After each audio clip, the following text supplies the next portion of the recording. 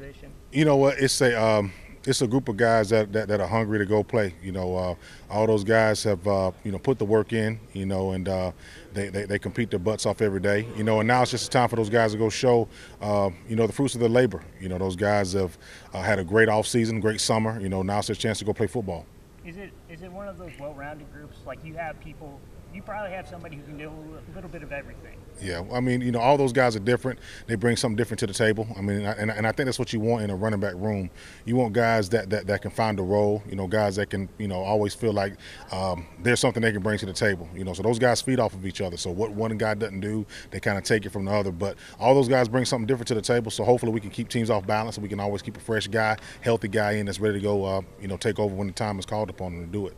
Don't even know if this is something coaches concern themselves with, but like, is there any sense of if one guy's out there, we kind of have a sense the other team will kind of have a sense about what what they're going to be doing. I don't think so, and, and, and, we stress all the time that you know um, um, we play a high tempo offense. You know, we, we, we don't play an offense where we huddle up and can pull a guy out to put another guy in. So um, you have to be able to do everything that the offense calls upon. You know, running the ball, pass protecting, you know, being a guy that can be in on third down, being a guy that can catch the ball out of the backfield, running between the tackles. So obviously, you know, th- there'll be things throughout the week that we think guys can do better. You know, but when game time comes, there's some times where you may be in the game at that moment and you're still expected to go uh, execute at, high, at, at a high level.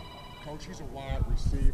Um, you know, not just catching the ball, but you know, being being able to block on the perimeter. You know, that's something he takes pride in. So I think Kobe's a guy that everyone's excited to, you know, finally get a chance to see him, you know, grow into his role as a football player.